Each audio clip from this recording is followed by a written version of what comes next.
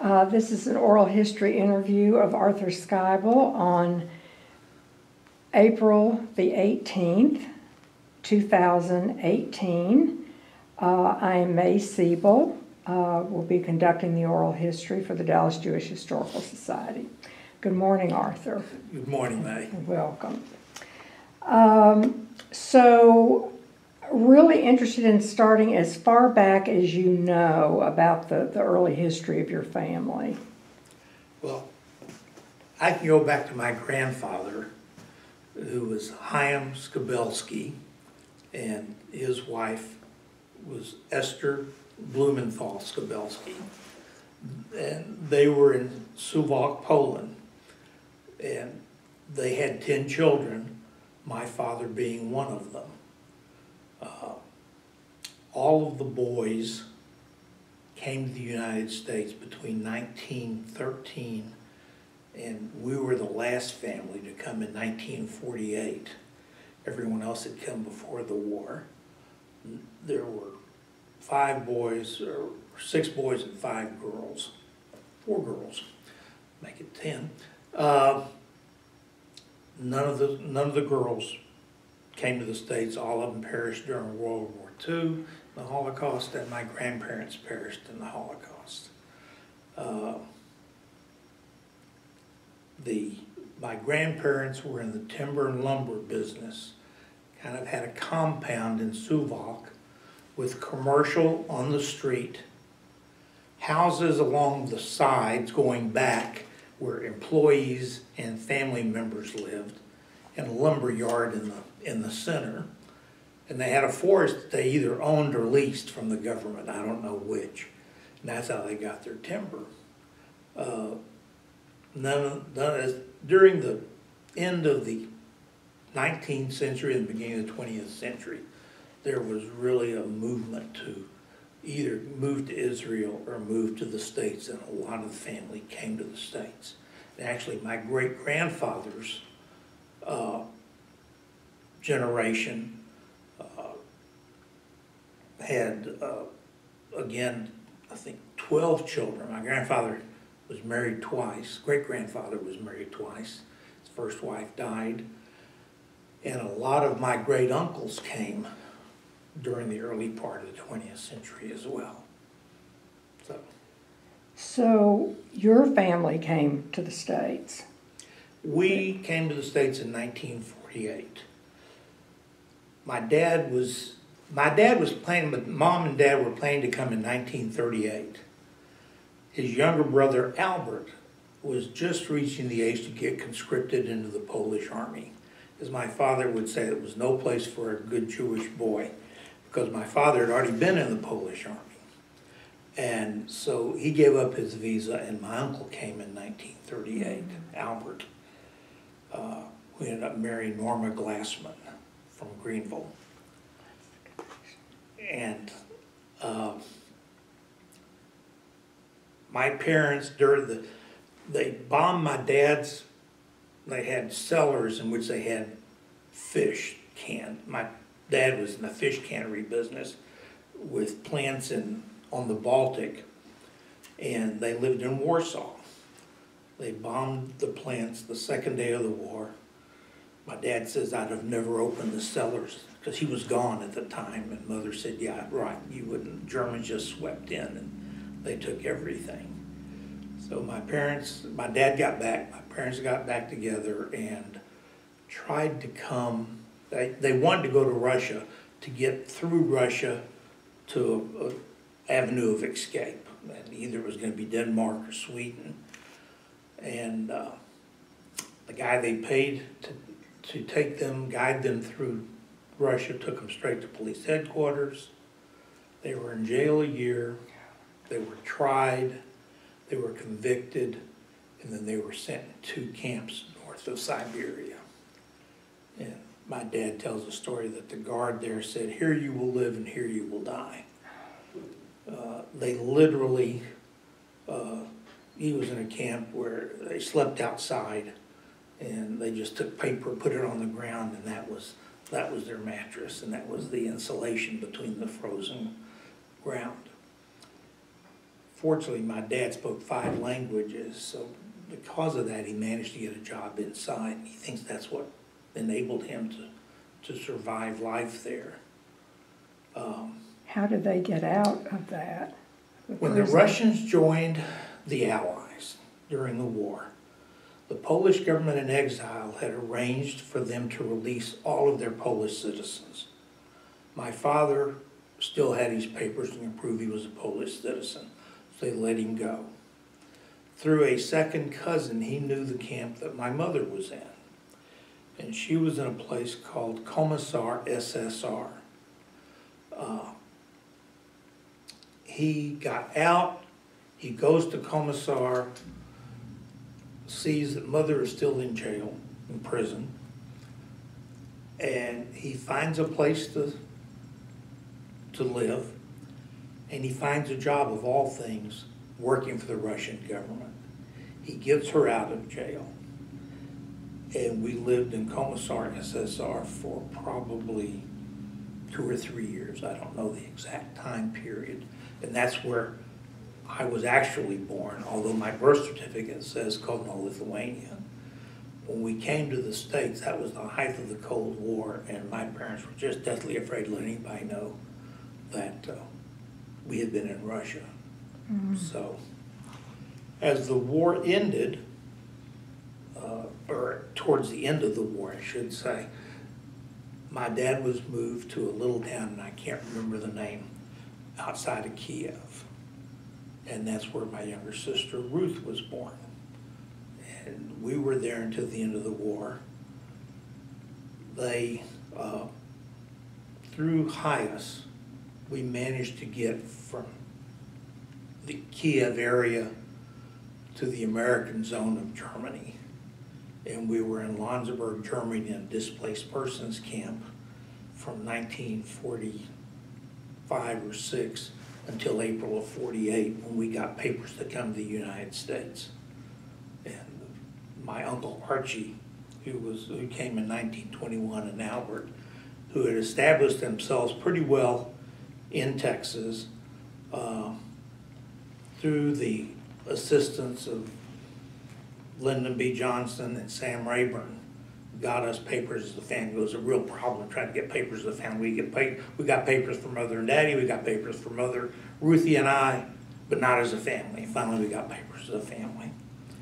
And we came to the United States on a converted marine ship, took about eleven days, and, uh, landed in New York and were met by Uncle Albert and Aunt Norma.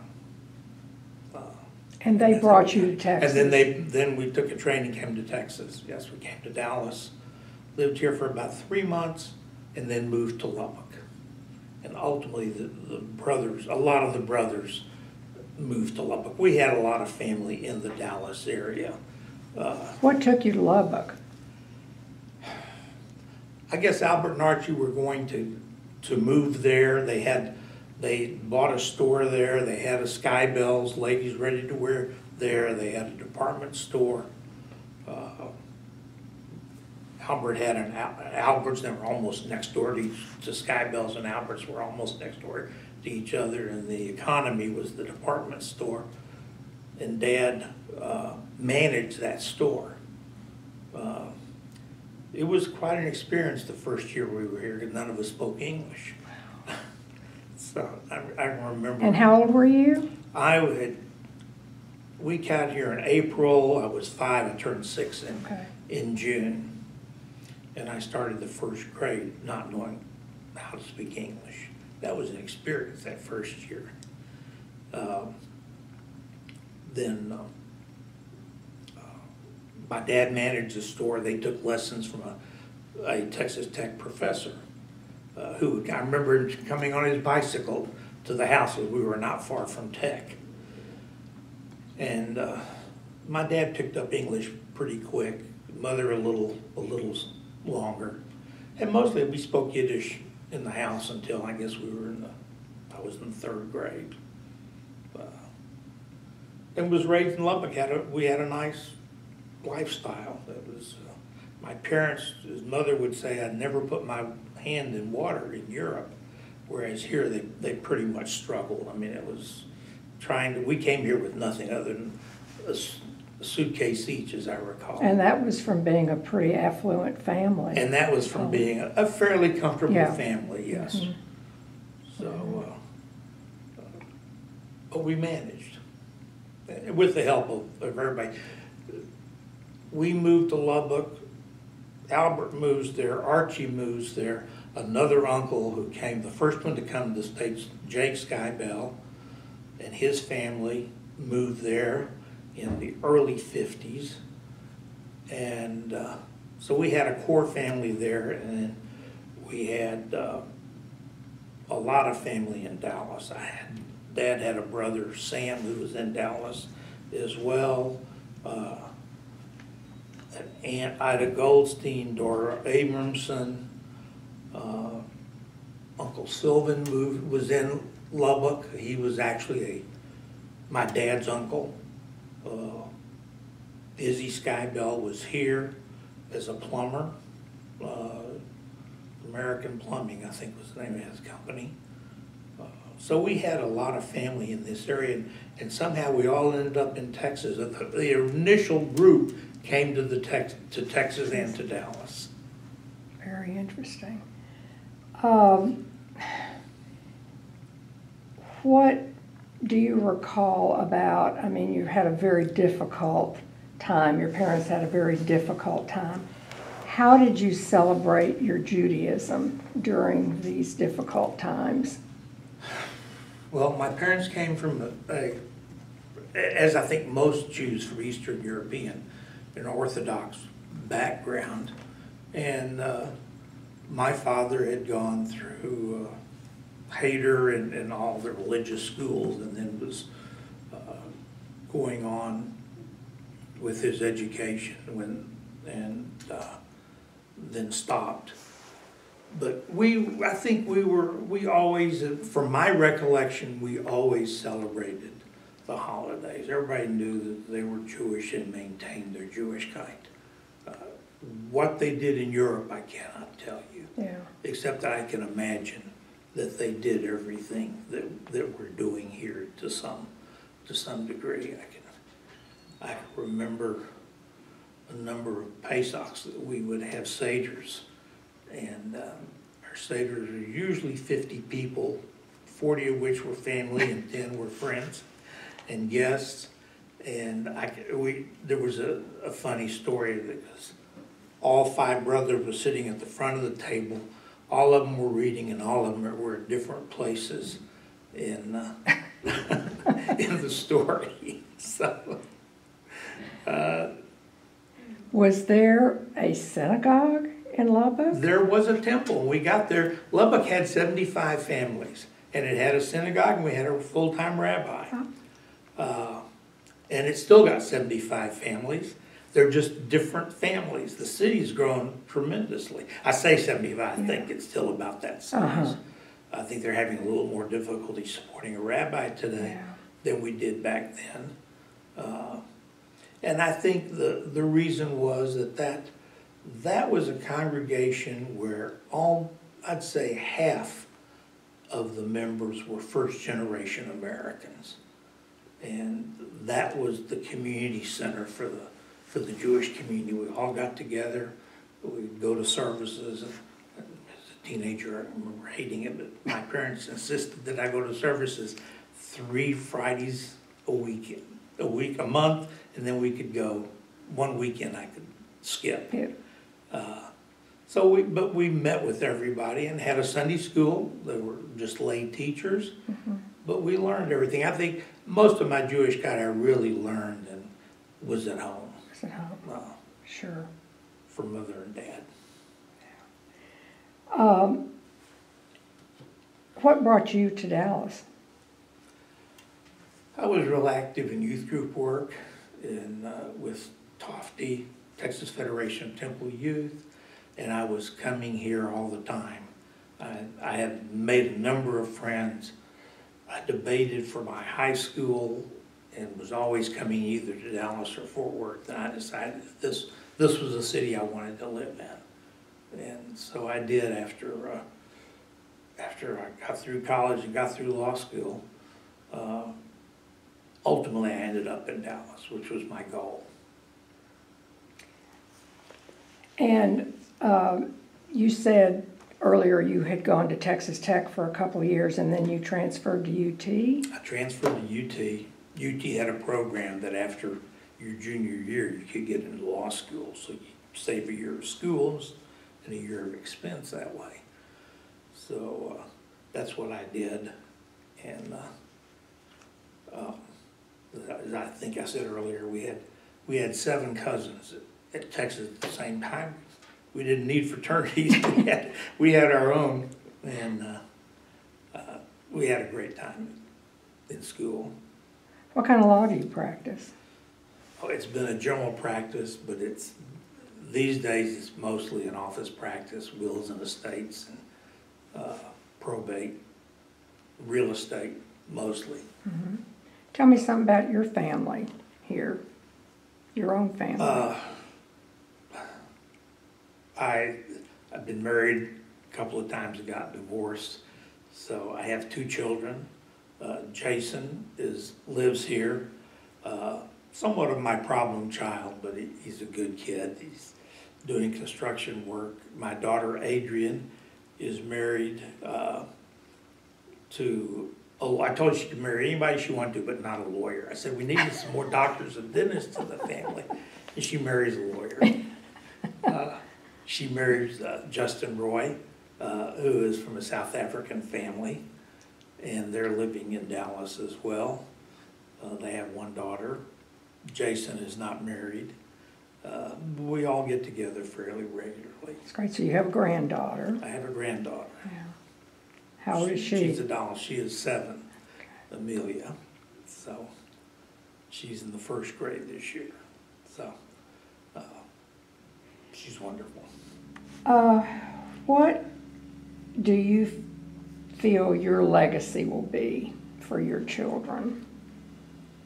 Well, I hope I instilled in them that feeling of being Jewish that I, that my parents instilled in me, because I think it definitely was instilled in the home. And I'd like to instill that and, and a need to, to be successful and, and give back to the community what you get out of it. Hopefully they'll, they'll do that. Have you been active in any Jewish organizations here in town? I, I wasn't real active until, I guess for the last ten years, I've been active in um, Dallas Hebrew Free Loan. I've been on the board, I was president for a two-year term, and I still remain active as an ex officio member of the board. Uh, I've always been part of Federation and contributed and uh, various activities through the J have always participated and been a member for years. Anything else you'd like to tell us about your family history? We've got, uh, I I grew up in Lubbock with, uh, four, eight, ten cousins. All of us lived in the about six block area of each other. And, uh, just, it was, you know, for a little town, I think when I left in nineteen sixty-two, Lubbock had fifty thousand people. And my mother, we were sitting, she was putting clothes on the line in the backyard, and the neighbor behind her came up to her and uh, said, I've never seen anybody Jewish before.